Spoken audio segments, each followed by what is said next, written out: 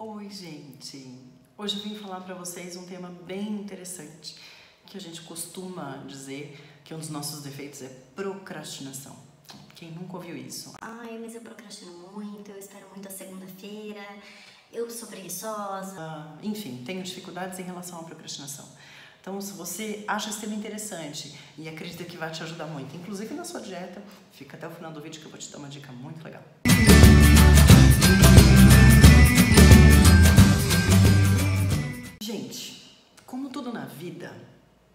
A gente tem os dois lados da moeda. Existe a procrastinação que foi feita para que a gente possa se vitimizar, se vítima das circunstâncias e só reclamar das coisas. Ai, porque tudo acontece comigo, porque eu espero as coisas acontecerem, porque eu não consigo fazer. E muitas vezes aquela pessoa que fica nesse tipo de sentimento de reclamação, né, que a gente clama de novo e de novo e de novo, a gente não sai do lugar. Mas existe aquele tipo de procrastinação que a gente entende que não é o momento certo. E a gente não sofre por conta disso. Então, peraí. Talvez eu não tenha experiência suficiente para que isso aconteça. Ou, quem sabe, não é minha prioridade mesmo. Talvez não seja. E aí, eu vou ser o, o vilão da história se não for? Não, não tem problema nenhum.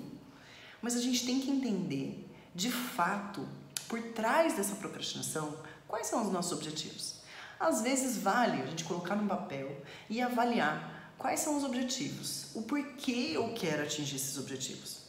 E aí a gente vai entender o real motivo das coisas não acontecerem na nossa vida. Talvez as prioridades elas simplesmente estejam trocadas. Talvez hoje o que eu dou mais valor não é perder peso. Eu, eu preciso trabalhar, eu preciso colocar algumas coisas no lugar antes disso acontecer. E tá tudo bem. A ideia não é julgar, a ideia não é se culpar e muito menos se vitimizar. A ideia é a gente entender o momento de vida que nós estamos e compreender e traçar metas a curto, médio e longo prazo para que a gente entenda a nossa missão aqui e quais são as ações que a gente pode fazer com que tudo ao nosso redor mude. Não adianta a gente querer mudar o mundo, né? Ninguém tem esse poder de mudar o mundo. A gente tem o poder de mudar a nós mesmos. E através da nossa mudança, a gente pode impactar de forma positiva a mudança de outras pessoas. Então a gente tem que ver a questão de prioridade. Então, peraí, mas eu não estou impactando ninguém, eu não estou influenciando ninguém. Ou às vezes eu não tenho o reconhecimento que eu tanto gostaria, então por isso eu procrastino. Às vezes o teu objetivo final não é perder peso, o teu objetivo final é o reconhecimento que isso vai trazer. O teu objetivo final é você poder olhar no espelho e se sentir muito vencedora. Mas hoje você está muito satisfeita profissionalmente, você está recebendo promoções e você está tendo uma ascensão bacana. E aí o perder peso ele acaba ficando mesmo em segundo lugar e não tem problema. Existem momentos, respeite o seu. A gente tem uma mania desse dedinho acusador na nossa mente, ficar falando que a gente é culpado por tudo, que a gente procrastina, que a gente é preguiçoso, que a gente não é capaz. A gente é capaz sim, e é importante a gente viver essa experiência e buscar ter sabedoria para saber o momento certo das coisas acontecerem. E aí tem uma coisa também, né? Não é porque ah, procrastina, procrastinação não é uma coisa tão ruim, ah, então eu vou deixar para depois. E aí muitas vezes, muitos compromissos a gente acaba deixando para depois. A gente também tem que entender que nós seres humanos, ultimamente, a gente está buscando fugir muito da dor.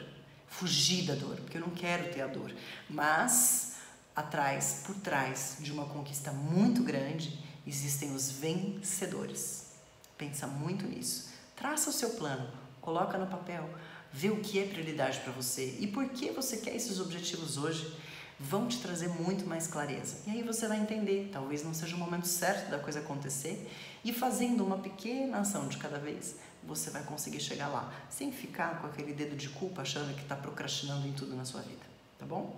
Espero que tenha sido útil esse vídeo para você. Se foi, curte, comenta, compartilha, se inscreve no canal, chama uma amiga para assistir junto, favorita o vídeo lá, alerta o sininho aqui, me segue lá nas redes sociais, no Instagram, no Facebook, Faço live todos os dias também, inclusive, enfim, a gente pode se conectar de várias formas. Segue lá, tá bom? Um beijo grande no coração de vocês, ótimo final de semana, até o próximo vídeo.